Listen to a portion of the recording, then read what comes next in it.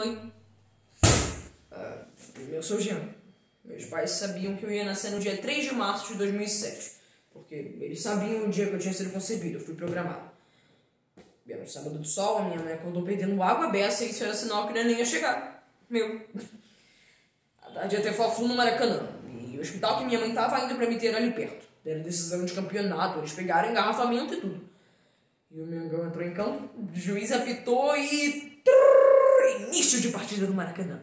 Só que essa altura do campeonato a minha mãe já estava entrando na sala de parto, só que de cócoras. Eu nasci que nem filho de índio nasce, ela teve que fazer aquela respiração no cachorrinho, assim, ó. E a partida tava demais, a torcida delirava lá no Maracanã. Enquanto isso, no hospital tava todo mundo nervoso porque eu não nascia, eu, eu não nascia. Até que no final do segundo tempo, saiu minha cabecinha. Depois foi gol! Gol do Flamengo! A torcida delirava lá no Maracanã. E eu nascia todo ao som de fogos do Maracanã. A minha mãe me pegou pelos bracinhos e disse: Que é um menino?